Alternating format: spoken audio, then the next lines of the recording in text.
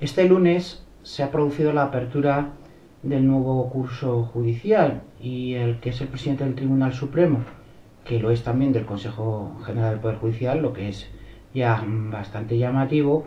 curiosamente ha hecho, además de una eh, de afearle al gobierno eh, los continuos ataques por el tema de los indultos, eh, hay una apelación por parte del ESMES al consenso para mm,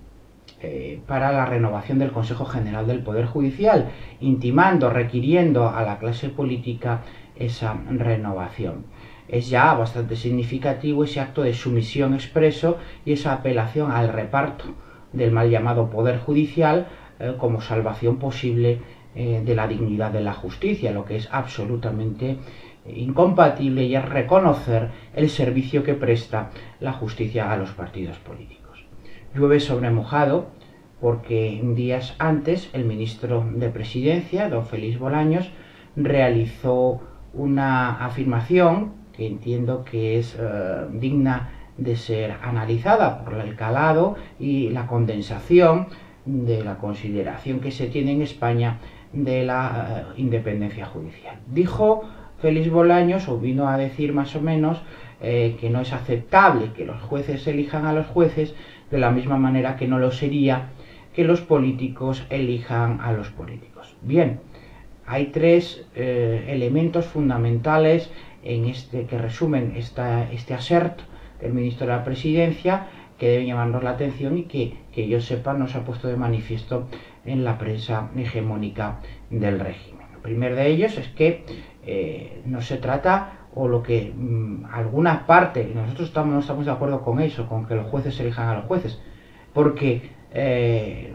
porque eso supone una endogamia absolutamente inaceptable. Debe ser el mundo jurídico en su conjunto quien elija al gobierno de la justicia. Eh, todos los operadores jurídicos, desde abogados, procuradores, registradores, notarios, catedráticos de derecho, policía judicial, oficiales del juzgado, fiscales, todo el mundo jurídico, no solo los jueces. ¿Y por qué no la población? Pues la población completa o el mismo cuerpo electoral común que elige a los poderes políticos del Estado no pueden entrar en esa elección de eh, lo que García Trevijano llama presidencia del Consejo de Justicia, que sustituiría al Consejo General del Poder Judicial por las características de nuestro derecho codificado. Eso es posible en, países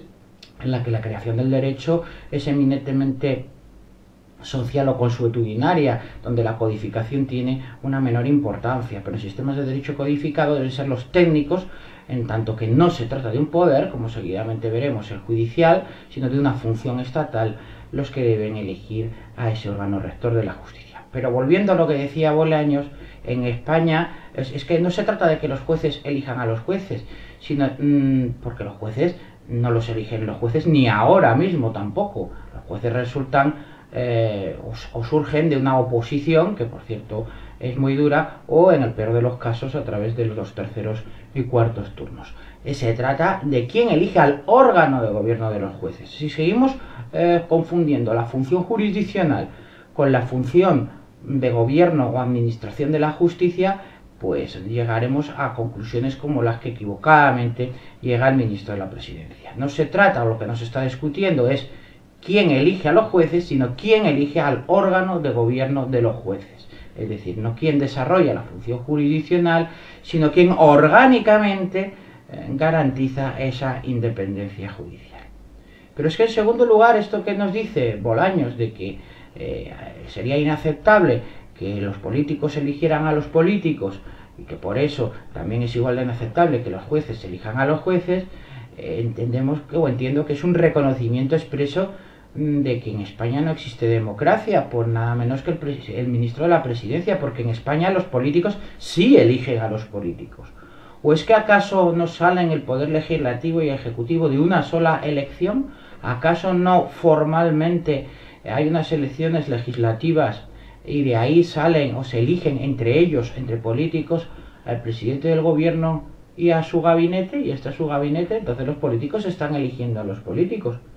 Eh, en realidad ni siquiera es así, porque en realidad lo que es son unas elecciones que los partidos presentan unas listas y sería absolutamente lo mismo votar al partido y luego hacer las listas después de esa votación que hacerlo antes. Pero que diga el ministro de la presidencia que sería inaceptable que los políticos eligieran a los políticos cuando nuestro actual estado de cosas esto es así, ya de por sí es bastante significativo. Y por último, y retomando lo primero, hay que decir que el Poder Judicial no es un poder político, como pudiera ser el legislativo y el ejecutivo, sino que el judicial es una función estatal que lo que tiene que ser es independiente, pero no es un poder en sí mismo, en tanto que los poderes, según los define Montesquieu, eh, políticos, son los del Estado y la nación, el legislativo y el ejecutivo. judicial es lo que denomina un poder presque nul, casi nulo, arbitral y en consecuencia más una función, la función jurisdiccional, que un poder carente, en cualquier caso, de fundamentación y de origen político. Eh, como digo, la apelación de Lesmes al consenso es una, eh, un, alegato de sometimiento. Intimar a los partidos políticos que se pongan de acuerdo es eh, apelar al reparto de su propia función y sacrificar la dignidad de, de, la justicia. Si existiera un mínimo atismo de dignidad en la justicia, apelarían por su independencia sin invocar tampoco el corporativismo, ese que los jueces sean regidos, en cuanto que la justicia sea regida por los jueces. No hay motivo para ello. Debe sustituirse el Consejo General del Poder Judicial por ese órgano que Antonio García Trevijano denominó Consejo de Justicia, en cuya cúspide, cuya presidencia debe estar o ser elegida por todos los operadores jurídicos, por todo el orbe jurídico en su conjunto, garantizando así su independencia y no solo del poder político, sino de presiones sociales de todo tipo.